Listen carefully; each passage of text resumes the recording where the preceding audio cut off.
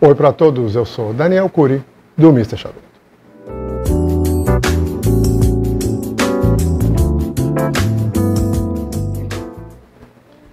Hoje, finalmente, eu vou fazer um, um vídeo do charuto de uma marca que há muito tempo eu tenho vontade de fazer um review.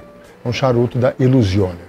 E o blend que eu escolhi para ser o nosso primeiro a respeito da Illusione é este cigarro aqui. Ele é o Epernay Le Grande Coroa. Corona. Grande Corona. Não é Grande Coroa, não. Ele é um charuto de 6 inches por 46 e eu pegando nele aqui, eu acho que ele é um pouco mais do que 46, mas vamos tomar como o, a informação do fabricante. Ele tem, ele é uma bitola corona grande também, né? ou tem gente que chama de corona gorda, mas a, a, oficialmente ele é um Corona grande. Ele é um, um charuto com wrapper Corojo Café Rosado da Nicarágua. O binder dele é da Nicarágua e o filler, na verdade, mais são dois fumos. O filler é um, um nicaraguense crioulo 98 e um corojo 99. Ele é um charuto fabricado na Honduras, no país, né, em Honduras, na fábrica Raízes Cubanas e ele foi, esse blend foi ah, colocado no mercado em 2009. Então vamos dar uma olhada na aparência dele. Ele é, primeiro falar da band, a band é uma band tradicional dos Illusiones, ela segue o formato, muito fina, é uma band enxuta, slim e bem delicada, bem passa bem despercebido, tem uma, uma fonte bem ah, germânica, né? Uma coisa, vocês estão vendo na foto, eu vou colocar a foto agora. Do lado está escrito Illusione, do outro lado também Illusione, só o nome Epernay. Aqui no centro, dourado e branco, elegante, mas não tem nenhuma atração, não tem nada de atrativo, de belo, de design, bem, bem simples. Agora, o charuto em si não é um charuto bonito, belo, a folha do wrapper é, tem pequenas ah, veios e tudo. Eu não achei um dos charutos mais bonitos que eu já vi, mas ao toque ele é muito agradável é, quase acetina, quase encerado. Não chega a ser tão suave assim, tem um mínimo possível de aspereza necessário para não chamar de encerado. O cheiro, o cheiro sim é suave, agradável, doce, cheiro de mel, de caramelo, muito e também o cheiro de rei, mas tem um cheiro de couro, é isso. Tem um fundo de couro, um couro doce com folha, com rei, que é natural a quase todo charuto, né? Legal. Bom, vamos cortá-lo e começar o processo de acendimento dele. Eu estou aqui ainda encantado com esse cortador de tesoura. Eu tirei novamente só a ponta do cap, vamos ver se é suficiente. Hum. É assim e já uns sabores, ah, não vou dizer estranhos, mas pouco normal, pouco corriqueiros.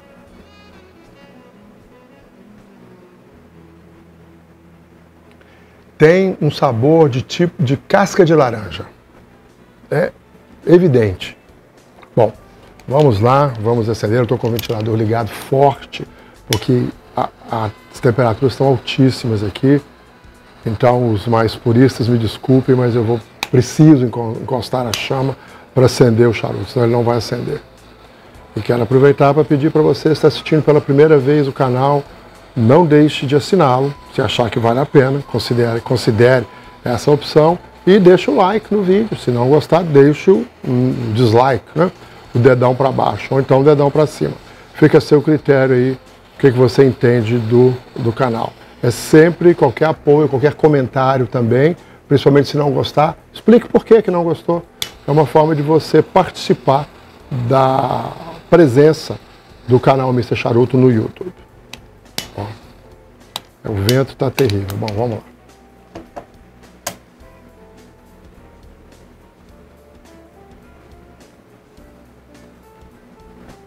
Acendeu perfeitamente. E é um charuto de vários sabores. Ele até parece um Connecticut, sem graça, mas a gente vai ver. Eu já fumei esse charuto, tá? Então eu escolhi para apresentar a, a Illusione para vocês, um charuto que eu gosto muito.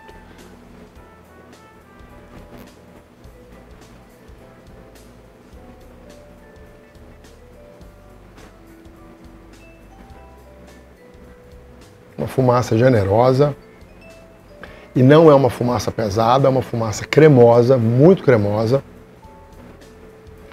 E de cara um sabor leve, suave também, de cedar, né, de cedro, daquela bem mesmo o sabor que você pode sentir quando você abre um humidor. Então vem aquele, aquela sensação viva da madeira.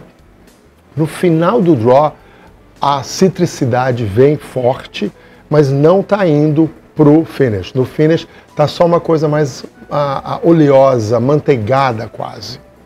Não tem caramelo, não tem nada assim tão muito doce, mas é oleosa, bem manteiga, cremosa. Imagina um creme de leite, a, o peso da gordura do creme de leite. É isso que eu estou sentindo agora na, na, minha língua, sendo que o finish é bem ele não acrescentou nada até agora. O finish mantém essa sensação cremosa e oleosa do, do draw.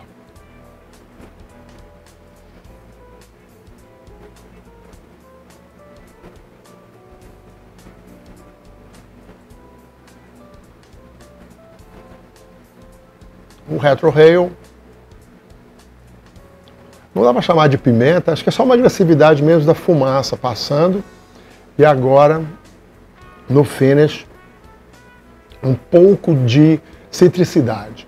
Então é uma, uma, uma madeira suave, bem com o, bem a oleosidade do creme, né, do, do, da gordura do creme e no retroreio um pouco de citricidade. Vamos ver o que, que ele tem para nos oferecer. Ele tá, parece que está queimando rápido, o fluxo está bem aberto, até mais aberto do que eu imaginava que estaria, mas vamos ver. Daqui uns, na hora que estiver fumando por uns 10 minutos, eu volto para falar mais. A marca dos 10 minutos, mais ou menos, um pouco mais na verdade, eu acho. E eu tô, a queima está perfeita, vocês podem ver na foto aí do detalhe.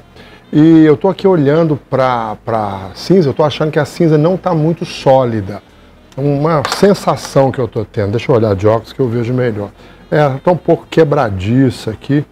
Mas, mas vamos ver, eu não vou bater não vamos ver se ela vai cair ou não. Vamos ver que vai, até onde que ela se suporta. Bom, em termos de sabor, houve uma pequena mudança. Eu estou sentindo agora um pouco de pimenta no draw e junto com, aquele, com aquela citricidade. E a madeira vai no finish, ao longo do finish, mas é uma madeira cremosa, misturada com o, cheio, com o sabor de creme, com aquela oleosidade. Diminui um pouco essa oleosidade, a madeira cresceu, mas é uma sensação muito longa e muito. Ah, os dois vão lado a lado, não tem muito. O, não se sobressai. A pimenta fica só no draw, não fica no finish. Deixa eu até fazer um retro rail aqui para ver o que está, que eu acho que eu não fiz outro retro rail desde que eu desliguei a câmera.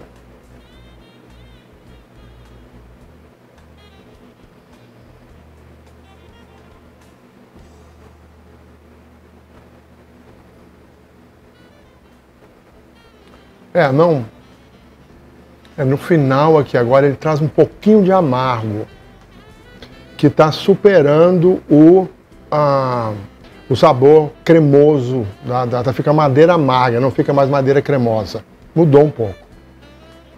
Para mim o Retro Rail não foi uma, uma boa agora nesse draw, não trouxe uma, um, um, sabor que, que me agradasse. Bom, mas vamos lá, vamos falar um pouco desse desse blend, do Epernay, da Illusione. Ele foi ah, criado né, em 2009 numa, como se fosse uma extensão de um charuto criado em 2008. E esse charuto tem um nome que é começa com o acento de tio, o acento tio, né? Eu vou escrever aqui embaixo, vocês podem ver. Então, na verdade, o, o nome é SCCJ, com um tio antes e um tio depois, tá? Esse charuto SCCJ foi criado pela Illusione para celebrar os 15 anos da revista European Cigar Cult Journal, que depois, ao longo do, do passar do tempo, se tornou o Cigar Journal, que eu acho que é conhecido por muita gente. Ele, a, essa a relação da, da, da com a Europa e com nomes estranhos, ou nomes pouco usuais para os blends, é uma constante. Nós vamos falar disso algumas vezes aí durante o, o esse, esse review.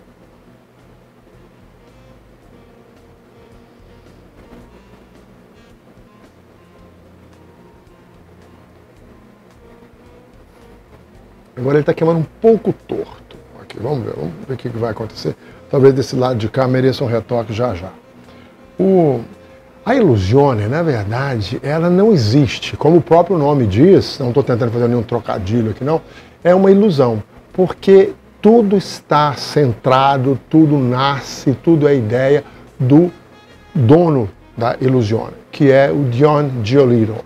Esse cara é um cara super curioso ele tem uma proposta, ele tem uma atitude e a atividade dele é única dentro do mercado de charutos aqui no, no não, não cubanos, né? basicamente nos Estados Unidos. Ele não se encaixa em nenhuma daquelas categorias de blenders que eu já mencionei em vídeos passados, tipo os novos charutos americanos e tudo. Ele nasceu mais ou menos no, no, na mesma época, ele tem relação com alguns mais próximos e tudo mais, vou, vamos falar sobre isso também, mas ele tem uma postura e ele tem uma, uma, uma maneira pessoal de ser. E o resultado dos charutos que ele blenda são tão únicos, são tão exclusivos e todo o processo dele de, de, de envolvimento são tão ah, singulares que ele definitivamente não, não se encaixa. E a, a, algumas pessoas chamam de estranho, de esquisito e tudo mais, mas o, o, que eu acho mais importante é que o resultado de toda essa atitude dele, de toda essa prática dele com charutos, deságua em charutos que são inigualáveis. Isso é que é a grande, para mim, a grande, o grande motivo de eu estar fazendo esse vídeo, falar dos charutos que são incomparáveis de fato. A cinza caiu, eu fui colocar aqui no cinzeiro, mas não, acho que aquela foi uma impressão que a cinza estaria muito ah, solta, né? não fosse compacta. Normal, nem muito compacta, nem nada compacta. Simplesmente caiu sem problema nenhum. Deixa eu dar mais uma puxada aqui.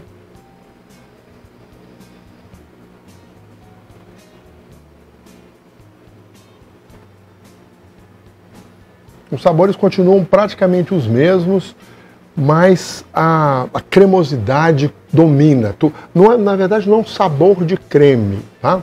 é uma cremosidade que os sabores estão oferecendo, junto com aquela oleosidade da fumaça, mais ou menos aquele a, a grupo de sabores mesmo. Em 1988, o Dion ele era um estudante de música em Reno, que é a capital do estado de Nevada, onde fica Las Vegas, e ele precisava de, de, de um trabalho né, para ter um certo, uma certa renda. Então ele se ah, empregou numa tabacaria lá em Reno mesmo, trabalhando em tempo parcial. Não era um, porque ele era estudante, né, então só nas horas vagas que ele trabalhava nessa tabacaria. Ele também era baterista de uma banda punk rock lá na cidade, né, em Reno, que se chamava Atomics. E, mas não era muito, né, não tinha muito a condição ali de, de desenvolver muito bem nenhuma das duas, das duas carreiras, nem como músico e nem como, como músico da banda, né, que ele estava na escola, e nem como um funcionário de uma tabacaria. E ele, eu já vi uma, ele dizendo isso, que nessa época ele admirava muito os caras mais antigos, né, os clientes mais velhos da, da, da loja, que iam lá e compravam charutos absolutamente baratos. Eles não se importavam qual que era a origem do charuto, qual o blend, os sabores, nem nada. Eles simplesmente compravam muito desses charutos baratos e iam para as corridas de cavalo, apostarem nos pôneis, como eles diziam. Então era mais assim os caras, talvez, a, a, a, aposentados, ou não, o cara que simplesmente não trabalhava e vivia profissionalmente mesmo de aposta e tudo. E os caras mais de uma vida mais tranquila, assim, que iam lá consumir esses charutos e apostavam nos carros. Ele, olha, a, a, ele era jovem, devia ter seus 20 anos por aí, via aqueles caras e achava aquilo uma coisa que o atraía, e ele achava bacana o envolvimento dos caras com, com aquela história. Acabou que depois de um período lá dentro, ele ah, desistiu de, da escola, desistiu, saiu da escola, não foi mais ser músico, se formar em música e também da banda. E acabou ah, aceitando uma oferta de emprego na tabacaria onde ele trabalhava em tempo integral, com todos os benefícios de funcionário. E ali ele realmente começou a se dedicar exclusivamente aos charutos, sendo a, a única atividade dele profissional.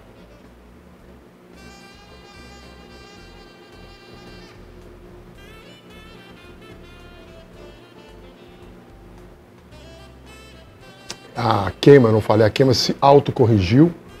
E eu estou falando demais, ele está querendo, saiu bem menos fumaça. Deixa eu dar mais uma segunda puxada aqui, bem lenta e bem suave, para reavivar essa cherry.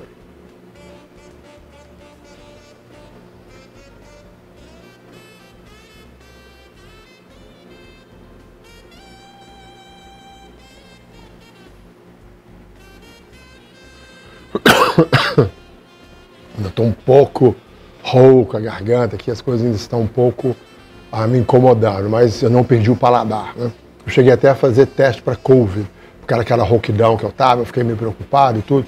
Tudo bem, um, testei negativo. Bom, mas uma vez trabalhando lá em tempo integral, ele ah, começou a. Ele se dispôs a conversar com o proprietário da loja para que o proprietário começasse a colocar lá dentro da loja charutos diferentes, porque até então a loja só tinha charutos da General Cigars. E vamos pensar que isso era no início do boom de charutos aqui no mercado americano. Então estava começando a chegar algumas marcas diferentes, principalmente do Ipicarillo, coisas novas fora da, a, da, das asas da General Cigar que dominava o mercado, com aqueles charutos sem graça, vamos chamar assim ele tentava, o John Joe Little tentava que o, o, o, o chefe, né, o dono da loja, levasse esses charutos e ele não conseguiu, não teve nenhuma, nenhum sucesso com isso. Foi uma tentativa frustrada. Logo depois disso, ele teve, fez uma nova tentativa, também frustrada, que foi que, de fazer com que o proprietário da empresa comprasse a outra tabacaria da rede que eles eram franqueados, que ficava ali na região, que essa loja estava fechando, e, o, e, o, e o, o, John sugeriu ao, ao, proprietário que ele tocaria, ele que, que seria o administrador dessa segunda loja. Mais uma vez o chefe falou, não, nós vamos continuar do jeito que a gente está, não vamos empreender nada. E o John, cheio de ideias, cheio de, de, de, de energia para entrar no mundo dos charutos, fazer algo diferente, fazer algo, algo novo, seguindo as tendências do mercado, mais uma vez sofreu uma decepção. Aí, segundo ele, essa decepção foi determinante para ele decidir que ele tinha que abrir a sua própria loja, começar a fazer o que ele queria, do jeito que ele quisesse. essa segunda decepção dele aconteceu próximo de 2004, já há bastante tempo que ele estava dentro da loja já. E acaba que em 2004 ele se retira da loja e abre o seu próprio negócio em Reno também, na mesma a, a região de onde ele trabalhou durante anos. Ele, a, o diferencial que ele encontrou para abrir essa loja, concorrer ali no mercado, foi levar o ser o primeiro, na verdade, naquela região, o primeiro revendedor de Davidoff da Band Branca. Foi esse o grande pulo do gato dele nos negócios. Ele, o primeiro contato que ele fez com a Davidoff, a resposta foi não. Eles não o aceitariam como revendedor, porque eles já tinham revendedores em Nevada, em Las Vegas. Aí o Dion Giolito argumentou, falou, mas eu estou a quase oito horas de carro de de Las Vegas. Eu não vou influenciar o mercado dos revendedores de Las Vegas. Aí a, a Davidoff reavaliou, deve ter consultado o revendedor de Las Vegas e autorizou para ele revender os charutos da, da, da Davidoff na, na sua loja recém-lançada. Ele fala que isso custou boa parte do empréstimo que ele fez para abrir o negócio, foi a compra de 30 mil dólares que ele teve que fazer com a Davidoff. A Davidoff só permitia para ele a, a, revender se ele fizesse uma aquisição junto a Davidoff de 30 mil dólares. Isso é o poder dessas grandes empresas lidando com quem está começando, quem não tem história, quem não tem muita, a, a, a, muito a oferecer para a empresa. Então a empresa se garante dessa forma, arrancando a pele, os ossos e a carne do, do comerciante. É como as coisas funcionam. Né? Acabou que depois ele, que já era um, um grande admirador do trabalho, trabalho do Kellner, né? do, do, do grande a, a, a blender da, da Davidoff, ele sempre gostou muito, ele que eu falo, o Giolito, John Giolito, da, da Illusione, ele sempre acompanhou muito, sempre se interessou muito pelo o, a explicação, né, pelo entendimento que o Kellner tinha e tem do processo de estimulação do palato através dos tabacos. E em 2019, já andando bastante na história, mas mais um dado curioso, o, em 2019 a Davidoff se tornou a distribuidora europeia dos charutos da Illusione. Então o que começou ali aos trancos e barrancos acabou se tornando uma, uma coisa mais sólida né? e mais ah, rentável para os dois lados, que há dois anos atrás aconteceu essa distribuição por parte da Davidoff.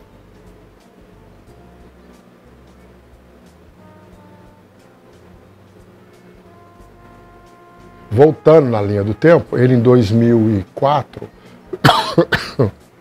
desculpa, ele abre a sua empresa e tudo mais, como eu disse, e ele em 2006 resolve que ele quer ter o house blend, ele quer ter um blend exclusivo da loja dele. O que, que ele faz? Ele recorre a uma das fábricas que ele conhecia, que ele tinha conhecimento. Chegando nessa fábrica, ele descobre que o proprietário da tatuagem estava ali fazendo um blend novo, criando um blend novo. Ele que não tinha praticamente conhecimento nenhum com, ele chama Pete Johnson, que é o da, da tatuagem. Ele entra em contato com o Pete, fala, conta a história dele, o que, ele estava fazendo, o que, que tinha acontecido e tudo mais. E o Pete se dispõe a ajudar. Ele fala, olha, eu tenho um blend aqui, quer experimentar, quer ver, é uma coisa minha feita aqui dentro, eu posso, a gente pode fazer negócio.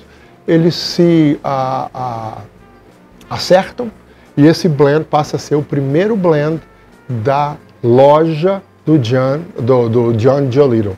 Não tinha nome ainda, não tinha empresa, não tinha nada, e ele batiza esse blend de 88, que é o ano em que ele começa a sua atividade com charutos em, em Reno, Nevada. E esse blend é feito, foi blended, na verdade, pelo, pelo Pete Johnson e pelo Eduardo Fernandes, que também forneceu os tabacos para esse, esse blend. E o Eduardo Fernandes é, né, não é ninguém não é nada mais, nada menos, falei direito, do que o dono do que hoje é conhecido a Aganorsa Leaves, né, as folhas Aganorsa. Então, o início dele já está ligado a uma produção de tabacos nicaragüenses que tem história e que é reconhecido hoje como belíssimo tabaco. A história vai tudo por aí. Tudo está a toda a história da Ilusione começa nesse blend, mas também é influenciada pela habilidade, naquela época, do John de reconhecer bons charutos, depois nós vamos ver que ele tem outras habilidades, desenvolveu outras habilidades, e também baseada nas esquisitices do John. Ele é um cara cheio de idiosincrasias, nós vamos falar disso já já. Bom, agora eu quero fazer uma entrada aqui rápida só para falar de uma grande mudança que aconteceu aqui mais ou menos na metade do charuto, um pouco antes. Os sabores, como eu disse na vez passada, que eu falei sobre os sabores, ah, eles se mantêm mais ou menos os mesmos, não tá, ele, acho que varia um pouco a, a, intensidade de um e de outro. A pimenta talvez tenha caído um pouco. E agora apareceu um sabor de café, um café amargo, mas que se casa muito bem com a oleosidade, a cremosidade dos sabores. Eu não, novamente, eu não estou falando do sabor de creme, estou falando da intensidade e do caráter suave, do caráter a dá para usar uma palavra quase lânguido, aquele que penetra, que chega e se ajeita e se encaixa em todos os lugares. Os sabores são assim, eles, eles se a, a, a, intercalam dentro do, do, do, do, nosso palato. E esse sabor de café vem mais no finish, mas vem muito, muito agradável, vem ali dentro da mesma intensidade. É um charuto no máximo médio em termos de body, os outros ilusiones são um pouco mais fortes, mas esse vai um pouquinho mais para baixo em termos de body e anda com soltando e, e nos trazendo inúmeros sabores diferentes. Tem uns, talvez uns 10, 15 minutos que eu ah, desliguei a câmera, que eu voltei para falar só sobre o sabor daquela entrada do café. E ali, na verdade, começou uma modificação nos sabores do café. No, do café, não, do charuto. Com a entrada do café, alguns sabores, vamos dizer, o café foi se solidificando. Eu estou sentindo agora esse café mais amargo, agora é que eu estou sentindo na boca. Perdeu um pouco da cremosidade, mas ainda é cremosa, a, a, a fumaça não é agressiva. Aquele cítrico desapareceu e a pimenta agora vem no finish junto com o café. E o draw é um draw mais de madeira ficou menos rico, ficou menos complexo, mas continuou ainda equilibrado, continuou ainda tudo numa, num percentual interessante. E a pimenta vem até agora. Eu já parei de sentir o café e estou sentindo a pimenta. E é a, a, sensação ali, aquelas mordidas na língua da pimenta. Então foi uma, uma, transição forte. Deixa eu até dar mais uma puxada aqui. Eu estou o quê? Entrando no terceiro terço. Então a tendência é esses sabores incrementarem um pouco mais e pode acontecer também a chegada ou a saída de algum sabor. Vamos ver até no, na última parte, que eu tenho mais coisa para falar ainda sobre a Illusione.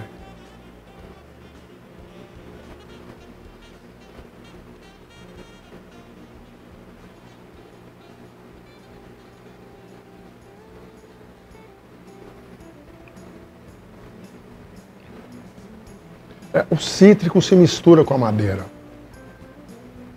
Às vezes vem, eu não sei direito dizer. Mas é isso, o café agora vindo de novo e a língua começa a sentir a presença da pimenta.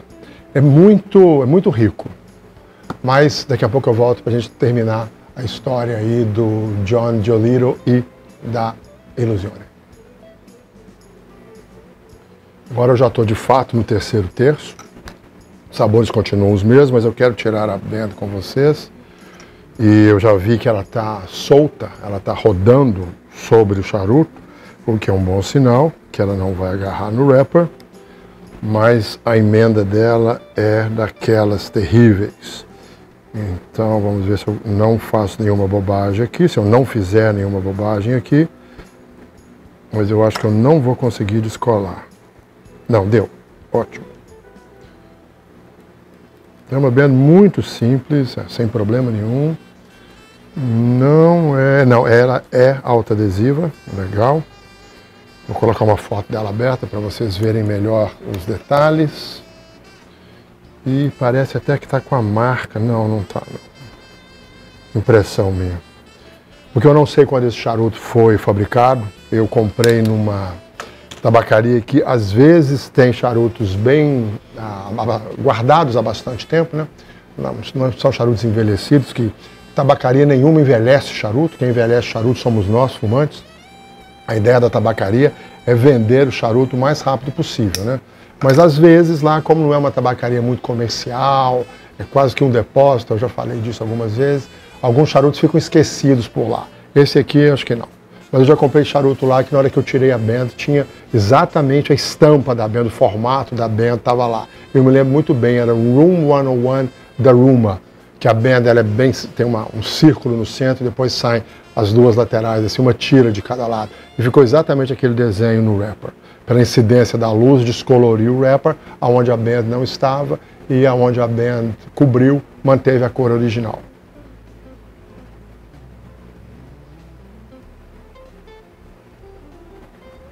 Bom, mas o, o, vamos falar um pouquinho do, do John Jolito. Ele é um cara de sete pés de altura. Isso em metros, né? metros também, não, nem tanto, né? mas assim, são um cara com 2 metros e 10, ou talvez até um pouco mais de 2 metros e 10 de altura. E ele tem um visual que lembra os rockabillys, aqueles, ah, tipo Elvis Presley. Ele tem costeletas enormes, um topete super estruturado, e até que eu vi uma, uma, uma reportagem dele, uma pequena entrevista dele a propósito da, da PCA agora de, de um mês atrás, coisa parecida. Ele estava mais, a, a aparência dele estava menos a, a, exuberante, estava mais acanhado. Mas além de ter essa, essa aparência e essa altura né, que chamam a atenção, ele também é um profundo, ele crê muito fortemente em todas essa história de teorias da conspiração, sociedades secretas, em programas secretos do governo americano. E não é surpresa para a gente também, ele é um, um pesquisador, vamos dizer assim, de extraterrestres. E ele leva toda essa a idiosincrasia dele, né, todos esses interesses que ele tem nessas coisas meio secretas, para os nomes dos charutos e até para o nome da empresa, né? Illusione é em italiano, né, a palavra para ilusão, para aquilo que parece ser, mas não é. Então ele carrega isso tudo. E os nomes dos blends dele são nomes em código. Vou dar dois exemplos para vocês aqui. Ele tem inúmeros blends, tem, tem os nomes mais normais também. Fuma d'Amore, tem os nomes assim, ou são em código ou se remetem à Europa, que é também uma das fixações dele. Né? Eu vou dar dois exemplos aqui, um é de, de nomes de blend, um é o MJ12, é o MJ12, que se refere a um programa ah, do presidente americano em 1947, criado para, se chamava Majestic do, uh, 12, né? Uh, Majestic 12, para procurar, para pesquisar, né? procurar ou, ou, tentar entender aí se havia ou não a presença de extraterrestres ou de objetos voadores não identificados no céu dos Estados Unidos ou do planeta. Então, o primeiro blend dele é esse. Ele tem um outro que é MK Ultra. MK Ultra. Esse já se refere a um programa da CIA de uso de substâncias químicas para controlar a mente das pessoas. Então era um, um, programa secreto e nunca, nunca assumido pela CIA ou pelo governo, em que as pessoas, algumas cobaias, seres humanos, recebiam uma substância química e os pesquisadores tentavam a, a, a tomar conta do cérebro, né? dominar o, a, a mente dessas pessoas. Ele acredita nisso e ele pesquisa, se informa e ele, dá, ele batiza os seus charutos baseado nessas coisas que o interessam.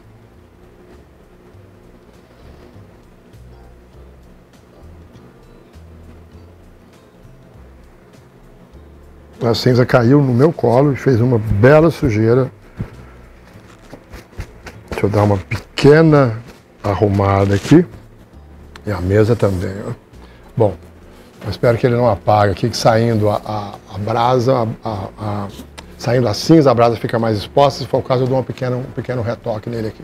Mas essa história parece meio tenebrosa, né, e tudo assim, mas não coloquem isso como um parâmetro para julgar os charutos dele, tá? Os charutos são inacreditavelmente bons e até, por exemplo, é, vale a pena eu falar que ele faz um candela que é o melhor candela que eu já fumei. Eu não me lembro o nome aqui, acho que chama Ilusione Candela, mas ah, eu posso estar enganado mas é muito bom, tá? E ele diz que o nome Illusione também tem uma opulência europeia. Eu não, nunca consegui entender essa, essa a, a, a descrição dele do nome, mas é uma coisa que ele fala e eu acho importante passar isso para vocês. Que Illusione tem opulência e é uma opulência europeia. Vamos aceitar isso, né? Em 2006, ele já participou de uma feira de, da indústria de tabacos aqui, muito acanhadamente, modestamente, distribuiu uns charutos aqui e acolá, mas no ano seguinte ele já conseguiu ser ranqueado naquela lista da cigarro aficionado dos Top 25. O charuto dele atingiu a colocação né, número 7. E a partir daí ele passou a ser reconhecido mais pelas suas habilidades como blender e outras habilidades que eu quero falar daqui a pouquinho também, do que pelas suas estranhezas ou pela sua aparência pouco convencional. Isso foi um grande ganho, né? foi uma grande, uh, um grande uh, improvement, né? desculpa, a palavra não vem em português, foi um, um grande, uh, vai ficar improvement mesmo, da, na, na carreira dele, que é, ele, ele não é mais um estranho, ele não é mais um cara que chama atenção pela estranheza, mas pela competência. E ele tem uma. Existe uma coisa em música chamada o ouvido absoluto, né? Que a pessoa reconhece o som. Eu não entendo nada de música e tudo, mas esse conceito eu, eu consegui pegar, que a pessoa entende, ela, ela, ouve um som, ela sabe dizer qual nota que é aquela, as características daquele som. Ele talvez tenha um paladar absoluto para charuto, para tabaco. Ele consegue identificar a origem, ele consegue identificar os sabores, ele consegue identificar qual fumo é aquele, às vezes até o, o, a origem do fumo. Então ele tem uma habilidade a, superior, vamos dizer, dos outros, aos outros blenders, de combinar esses fumos. O processo de de blend, ele é o blender, ele não contrata blenders, ele contrata fábricas. Ele fuma as folhas separadas, identifica os sabores que essa ou aquela folha tem, e quando uma folha chama bastante atenção, ele começa a blend em torno dessa folha, usando a biblioteca que ele tem de sabores, de origens e o que, que cada charuto oferece, levando em conta o conhecimento de estimulação do palato que ele tomou do Kellner, da Davidoff e de outras pessoas, e certamente a, a, criou o próprio dele ou, ou, ou descobriu alguma maneira de lidar com isso da sua própria maneira. Eu já estou dentro do terceiro terço, ele já está começando a esquentar um pouco. E os sabores teve uma modificação alguns draws atrás, que agora eu estou sentindo mesmo um pouco quente, a fumaça dá para sentir. Tem um sabor predominante de couro no draw. Nada mudou, nada entrou, nada saiu, só está vindo esse couro. E, na verdade, o, o, o finish está um pouco diferente, está com menos pimenta. Está mais madeira, mais, ah, mais madeira não, desculpa, mais café não está tendo mais aquela pimenta, aquela sensação na língua. E esse sabor de couro no draw, ele dura muito pouco, ele desaparece rapidamente para que o café tome conta no finish. Bom, gente, uma esse o John Jolito, ele se tornou meio que uma, um cara famoso. Ele tem fãs, ele tem pessoas que acham que ah, essa postura dele, essas crenças que ele tem nessas sociedades secretas, nessas coisas todas, ah, atraem essas pessoas, né? E, e essas, esse tipo de, de, atividade forma grupos mesmo. Então, além de atrair as pessoas pela qualidade dos charutos, ele atrai por, essa, por esse lado também da personalidade dele, dos interesses pessoais dele. Só que ele é um cara que ele, eu acho legal, porque mesmo sendo assim uma estrela no mercado, sendo um cara super reconhecido nos lugares que ele vai e tudo mais, a qualidade do trabalho dele também é reconhecida, ele continua, acho que o mesmo cara de sempre, porque ele continua até hoje trabalhando na loja dele, no balcão. Ele tem só uma loja, ele não tem uma rede de tabacarias, ele não tem fábrica, ele não tem uma, uma estrutura fora de, do, do, daqui, né, na, na, no Caribe ou, ou na, na, América Central, para produzir charutos, nada disso. Ele usa a, quem ele entende ser a, os melhores em cada ramo, as melhores fábricas, os melhores plantadores, né, produtores de, de tabaco, e ele mesmo blend os charutos dele. E continua trabalhando na loja. Então eu acho isso uma, uma, uma postura muito legal, muito fiel a quem ele foi. Ele não tem, não, não que quem cresceu como o Ipicarillo, por exemplo, que era por aí, mas já vinha de uma família tradicional e tudo mais, e hoje tem uma estrutura em dois países e tudo mais, tenha negado a sua origem, não é nada disso. Mas ele não passou para. O John não passou para o lado do grande produtor, do grande a, a, a empresário ligado aos charutos. Ele tem ali, ele faz, é a impressão que eu tenho que ele faz o que ele gosta do jeito que ele acha legal. Eu acho isso uma bela opção de vida. Né? Não se, se manteve ali dentro das suas ah, características iniciais. E deixa eu só dar mais uma puxada aqui.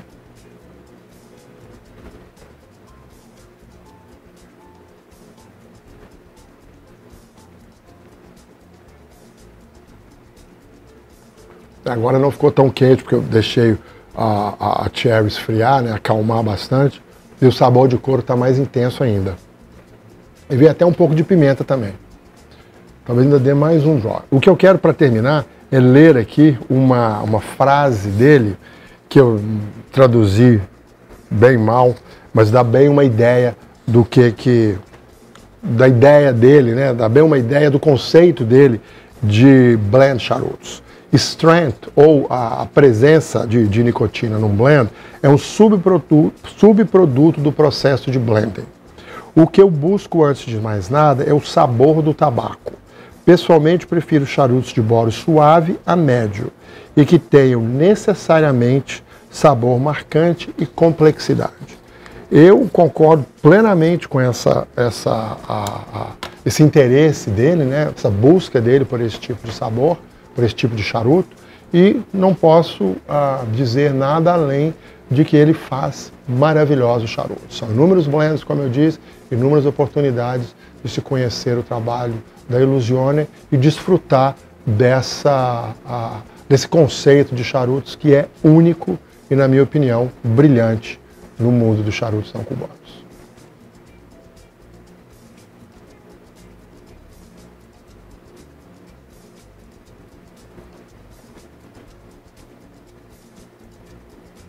Continua frio, essa puxada lenta e suave é uma ferramenta e tanto que a gente tem para extrair os sabores do charuto. Bom, espero que vocês tenham gostado do vídeo, um vídeo novo, um charuto desconhecido, mais uma oportunidade para todo mundo conhecer um pouco mais da Illusione e de novos blends, entre tantos outros desconhecidos que existem por aí. Muito obrigado. Até a semana, semana que vem acho que não vai ter vídeo, que eu já tenho umas coisas programadas, mas até o próximo vídeo, quando for, e até lá, fumem bem. Tchau!